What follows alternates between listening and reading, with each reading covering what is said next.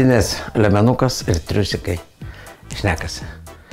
Lemenukas sako, jam šiek mat, keturias dienas į dieną po tris, penkis kartus plėšė mane segė su dantim, apseilėjo, draskiai, žemyn smaukia, net ramybės neturėjau keturias dienas. Triusikai sako, hm, keista, o aš visas dienas nejudintas. Visas keturias, kaip tu sakai, dienas be jokio judesio. Kaip tai be judesio? Tai, tai palauk, tai, tai čia viskas surišta, čiagi mes bendrai dirbam.